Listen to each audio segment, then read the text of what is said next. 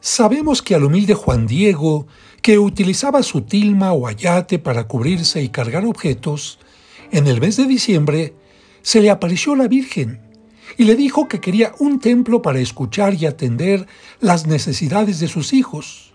Y luego, haciendo que brotaran rosas de Castilla, lo envió a la casa del obispo Fray Juan de Zumárraga, donde, al extender su ayate, quedó milagrosamente estampada la imagen de la Santísima Virgen, pero ¿sabes dónde estaba la casa del obispo? ¿Dónde fue el lugar del milagro?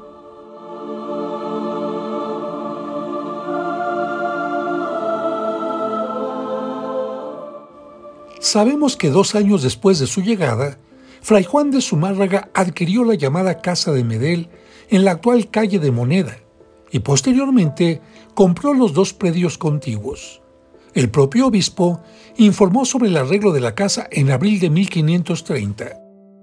150 pesos son que se gastaron en las obras de dicha casa, en una escalera grande y un retablo, y un confesionario y puertas, y otras cosas de atajos y cámaras, y suelos en las azoteas y cerraduras, para que la dicha casa estuviese en recogimiento y honestidad, y en pagar a los maestros indios y gente que en ello anduvo.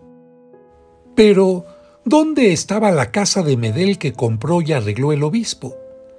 Para conocer el lugar, debemos recordar que al frente del campanario poniente de la actual Catedral de México se construyó la iglesia mayor, una pequeña construcción que después sería elevada a grado de catedral y posteriormente demolida para levantar la actual. Por ello, era importante que la casa del obispo estuviera cerca, y como lo verás, estaba a unos cuantos pasos, en la actual calle de Moneda, frente al costado norte del Palacio Virreinal, hoy Palacio Nacional, hacia donde nos dirigimos en este momento. La calle de Moneda es quizás la calle con más historia en todo el continente americano porque ahí estuvo la primera cantina, la primera imprenta, el primer museo y la primera Academia de Bellas Artes en la Nueva España y México independiente, pero también el primer arzobispado. Sí, justo en el costado norte de Palacio Nacional. El edificio color mostaza que está en la esquina que forma las calles de Seminario y Moneda fue en 1553 la primera sede de la Universidad Pontificia, madre de la UNAM. Justo en la parte baja, con fachada de piedra, se inauguró en 1857 la primera cantina de la ciudad con la licencia número uno de la capital mexicana firmada por el presidente Sebastián Lerdo de Tejada. Inicialmente no tenía nombre, pero en 1878, cuando se inauguró frente a ella el monumento ipsográfico a Enrico Martínez, que en su parte baja marcaba el nivel de varios lagos como el de Texcoco, Xochimilco y Zumpango, la gente comenzó a llamarla el nivel, por lo que la cantina pronto fue conocida con ese nombre.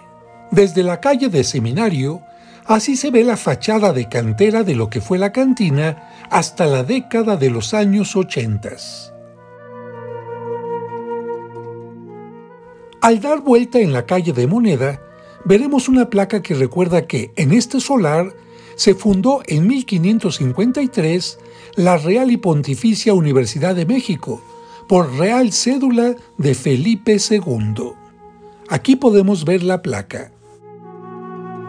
En la parte alta tiene el escudo nacional y la inscripción en latín dice, para un duradero recuerdo de la Pontificia y Real Universidad, erigida por mandato de Carlos V por el excelentísimo Antonio de Mendoza en este lugar el 3 de junio de 1553, la cual floreció hasta el año 1860.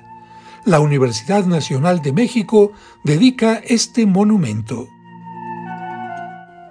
Después de ver la placa, damos una última mirada a este edificio y seguimos avanzando por la calle de Moneda para conocer el lugar donde quedó estampada la imagen de la Virgen en el ayate. Pero es necesario comprender que, aunque el lugar es el mismo, la construcción no la veremos como en tiempo de Juan Diego porque ha tenido cambios. El edificio que nos interesa es el siguiente, con un color cercano al naranja. La casa o palacio del arzobispo resultó seriamente dañada durante la inundación de 1629, por lo que en 1720 sufrió cambios y fue ampliada por el arzobispo Pérez de Lanciego. Dos años después, en 1722, en una sección del edificio se construyó la cárcel a la que se le conoció como la cárcel de la Perpetua. El aspecto actual se le dio entre 1730 y 1747, cuando Juan Antonio Bizarrón y Aguiarreta, arzobispo de México y virrey de la Nueva España, reedificó el palacio en su totalidad con el arquitecto José Miguel de Rivera Sarabia, quien le dio la portada monumental con pilastras estípites pareadas. Entre las estípites hay una cita en latín del capítulo 21 del Apocalipsis. Aquí a la izquierda el que estaba sentado en el trono dijo, y a la derecha, yo hago nuevas todas las cosas.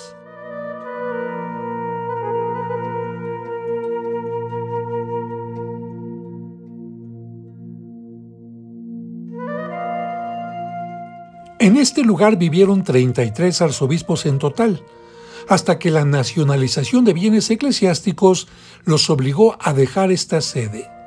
Desde entonces se establecieron aquí las oficinas de la Contaduría Mayor, el Archivo de Hacienda, la Pagaduría de Pensiones y una imprenta, mientras que la sección que fue la cárcel y el segundo patio fueron vendidos a particulares.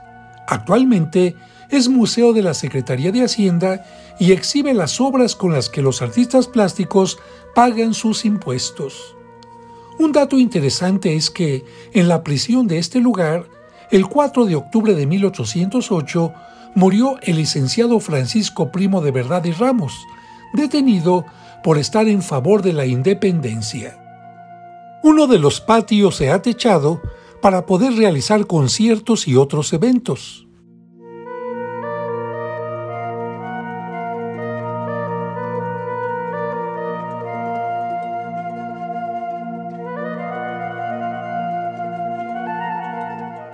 El otro patio tiene un jardín y una fuente, pero la calma de este lugar se sacudió con el sismo de 1985, por lo que fue necesario hacer trabajos de restauración.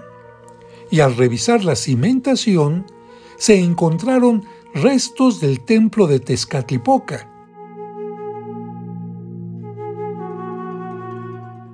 Y esta pieza que se llevó al Museo de Antropología. Las esculturas y pinturas del museo se exhiben en los pasillos y en diversas salas.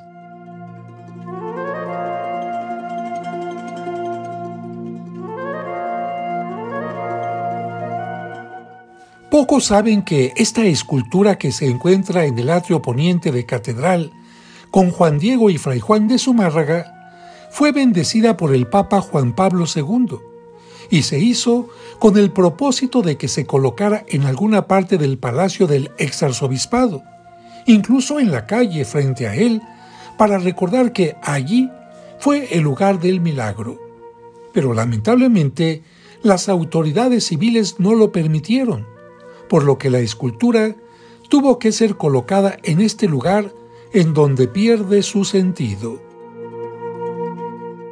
Pero con escultura o sin escultura, con una placa o sin ella, esperemos que poco a poco la noticia de que en este lugar se quedó grabada la imagen en el ayate haga que cada vez más personas conozcan este dato y comenten entre sí que esta es la calle y la casa del milagro.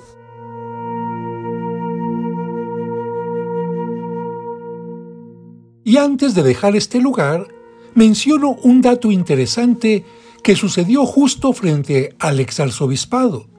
en el primer piso de Palacio Nacional. Esta placa recuerda. Aquí estuvo la habitación donde murió la noche del 18 de julio de 1872 el licenciado don Benito Juárez, presidente constitucional de México y benemérito de las Américas. Y con esta información nos despedimos de esta calle que conserva muchas historias.